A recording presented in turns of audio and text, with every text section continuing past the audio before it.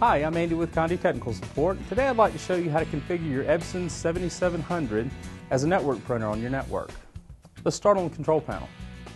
The first thing you need to do is have an IP address ready to program onto your printer. If you're not sure how to get one, go back to condetv.com. There'll be a video up showing you how to find an IP address for your printer. Once you have your IP address, on the front panel we want to go into the menu, which is basically the right arrow key. We're going to arrow down until we get to Network Setup. Once we're here, we hit the menu again, or the right arrow key.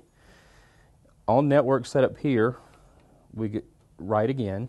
We want to arrow down to Enable and hit OK. Once you see the check mark move to Enable, hit the arrow back, and then arrow down to IP address settings. Right arrow here, we want to make sure this is set to panel. You do not want to use auto. Once the check mark is on panel, if it's not, just simply move the arrow down to panel and hit OK.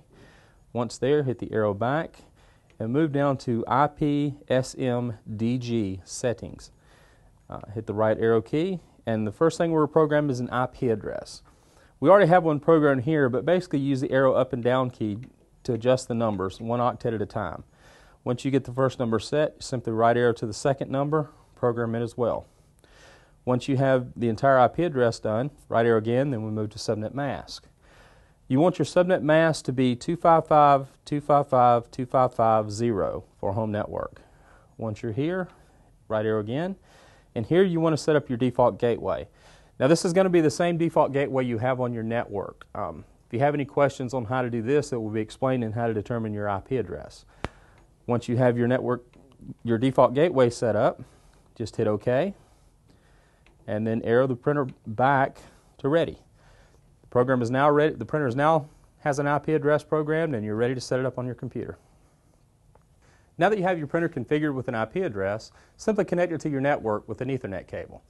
Uh, once you have this connected, open your web browser and type in that IP address in the address bar of your web browser. You should see a status page on the printer. Once everything is good to go, consult condetv.com for instructions on how to configure your computer, the printer installed on your computer as a network printer. We have one for both PC and Mac. If you have any questions or problems with this or anything else that you're setting up, just simply consult condetv.com for a video or call 1-800-826-6332 option 2 for tech support or send us an email to support at conde.com. Again, this is Andy with technical support, here to help. Thanks.